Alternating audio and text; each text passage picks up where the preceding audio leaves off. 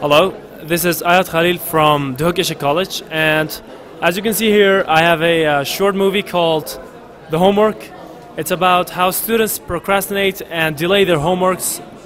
You know, when uh, teachers give homeworks and they say, I'll do it later, until it's kind of too late. Um, so basically, here, uh, the main character here uh, tries, and his, his plan is to do the homework for an important, it's an important homework but there are some obstacles. Like there's a at the same night there's a match about uh, there's a final match of football, so he uh, doesn't do his homework fully and goes to watch the match.